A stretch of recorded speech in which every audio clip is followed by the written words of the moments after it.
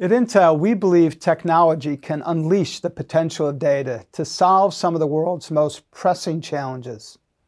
The Folding at Home project does exactly that, tapping into the collective power of millions of computers, creating the world's largest supercomputer.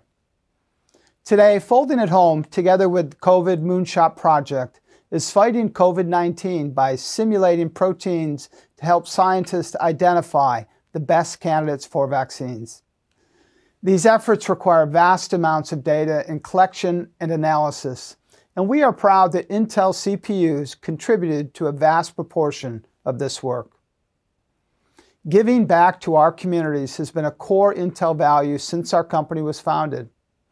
In that tradition, Intel engineers have volunteered hundreds of hours of their time and Intel has committed funding to improve the folding at home application so it can do even more, now calculating about one and a half times more data and running efficiently across tens of millions of PCs. Intel extended this capability to be sure it works not only on PCs powered by Intel CPUs, but on all PCs.